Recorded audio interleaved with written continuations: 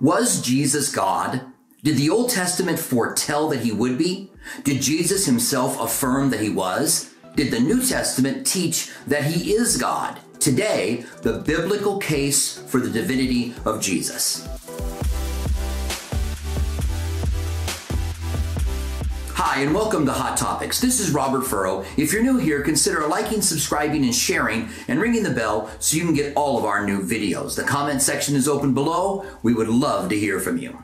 One of the things that sets cults apart from genuine Christianity is that they believe something different about Jesus. They do not believe the divinity of Christ in the way that we do. They've always got some take on it. Today we're going to look at 15 passages that tell us that Jesus is God. And this is going to be rapid fire. Otherwise, it would have to be a lengthy video. I will explain as I go along. You can take some notes. You can come back and pause this if you really want to dive into it. I think you could use this as a foundation for the divinity of Christ. First of all, in Colossians 1:15, it says, "He, speaking of Jesus, is the image of the invisible God." The firstborn over all creation. It doesn't mean he was the very first one created or the first one born, but that he holds the position of the firstborn, meaning the firstborn child gained everything.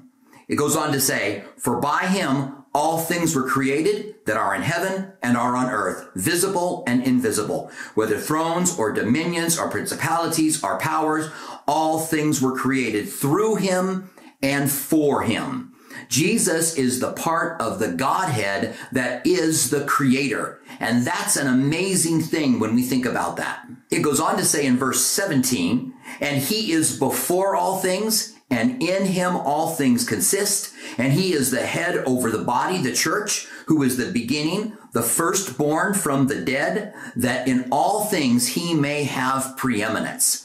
That's a pretty broad statement as to who Jesus is, and it's very undeniable. Let's go to the second. That's John 1, 1 through 5.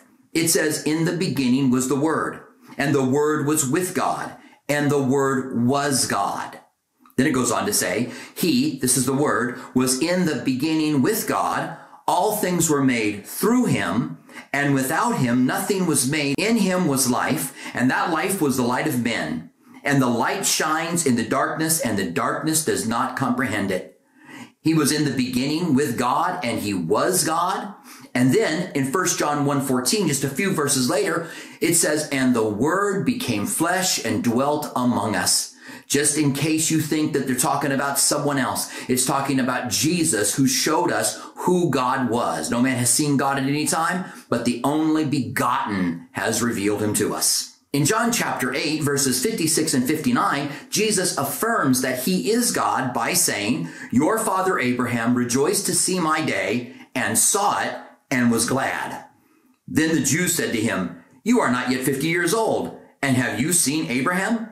Jesus said to them, Most assuredly, I say to you, before Abraham was, I am. And that I am is the name of God, the name that God revealed in the burning bush to Moses. I am that I am. And Jesus will return to this over and over again, referring himself to I am. Not only that, but he says here, before Abraham was, I am. And Abraham rejoiced to see my day. That he was in existence before Abraham. Let me give you a couple of Old Testament passages that tell us that Jesus is God. There's Isaiah 7:14, which says, "Behold, I give you a sign: a virgin shall conceive and bear a child, and he will be called Emmanuel, that is God with us." A little bit later on in Isaiah, in Isaiah 9, 6, it says, Unto us a child is born, unto us a son is given, and he will be called Wonderful, Counselor, mighty God, everlasting Father. There would be a child who would be born mighty God. What other child could it be that would have been born except for Jesus Christ that has made the incredible impact around the world like it was promised in the Bible, fulfilled prophecy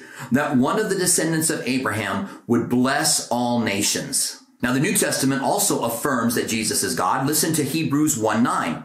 You have loved righteousness and hated lawlessness. Therefore, God, your God, has anointed you with the oil of gladness more than your companions. In chapter one of Hebrews, they're talking about the preeminence of Christ again over everything. And there, God calls Jesus God. I've used this before when debating someone from the cults, and they tell me that Jesus isn't God. I'll read that passage and say, God called him God. You say, I shouldn't believe he's God. God called him God. I think I'll believe God over believing you. God affirms that he's God. The New Testament affirms that he's God. The Old Testament affirms that he's God. We've seen Jesus affirming that he's God. Let me give you another one. It's in Revelation chapter 1. But before I read verse 8, let me read you verse 18. Both of them are Jesus speaking. He says, first of all, I am he who lives and was dead. And behold, I am alive forevermore. And I have the keys to death and Hades. Also in Revelation 1 8, it says, I am the Alpha and the Omega, the beginning and the end, says the Lord, who was, who is, and who is to come, the Almighty. When people tell you Jesus never claimed to be God, he didn't only claim to be God, he claimed to be Almighty God. Let me give you another one. Acts 20, 28. Therefore take heed to yourselves and to the flock of God, among which the Holy Spirit has made you overseers, to shepherd the church of God, which he purchased with his own blood. There it says that God purchased the church with his own blood. In Colossians 2 9, we're told that in him, and that's Jesus, in him dwells all the fullness of the Godhead bodily.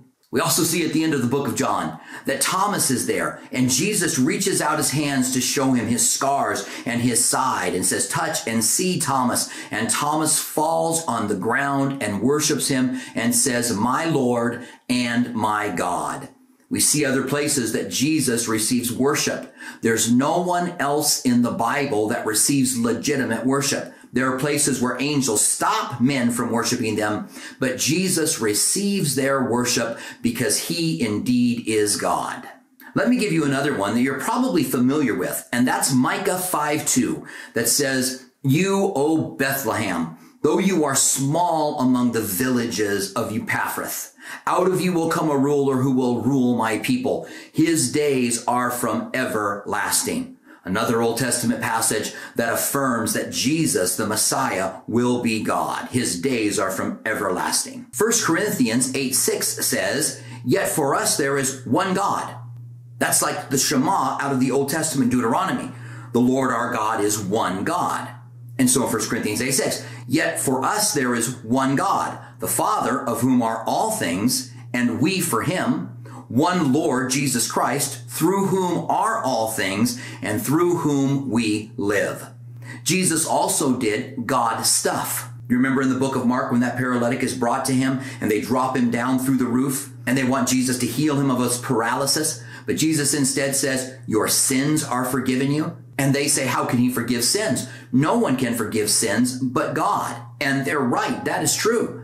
And Jesus said, so that you would know that the Son of Man has power on earth to forgive sins, I say to you, pick up your bed and walk. And he picked up his bed and he walked away. He did the visible after he removed his sins so that they would know that the Son of Man has the power on earth to forgive sins. The evidence in the Bible for the deity of Jesus Christ is so overwhelming that some cults have changed the Bible they get their own version. They change the Bible so that they can take those things out because they don't want their people reading them because they would clearly see the truth. And that should tell you something very powerful. Yes, that little baby that was born and laid in that manger is God Almighty.